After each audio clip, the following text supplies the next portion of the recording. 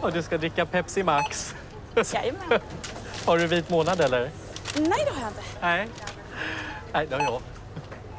Jag sa det att det blir ju så mycket annars här nu på våren när solen tittar fram. Du vet, rosé, rött, öl, starksprit, you name it. Så att jag sa det att jag kör vitt. vitt kör jag. Så att det är både stilla, mousserande, cava, prosecco från Spanien, Argentina, Chile. Allt som är vitt åker ner för lilla strupen här. Annars sänker man ju hela jävla systemet. Det blir ett valborg. Ja. En trevlig helg.